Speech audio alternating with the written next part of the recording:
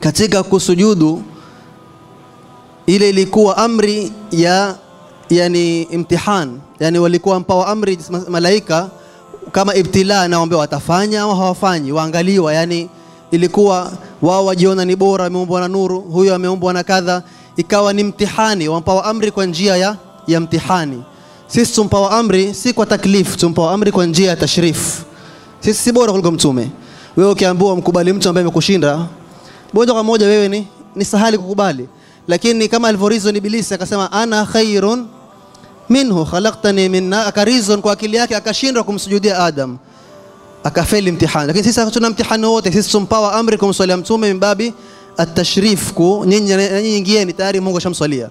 Malaika wamswalia, nyinyi ingieni kushiriki kupata baraka kama hiyo, na ziko nyingi. Kimalizia mwisho, kwa sababu kutunga wakati, katika kumsujudia Adam kuna kulfa ndani yake pia. Yani wewe kusujudu unataka viungo vingapi?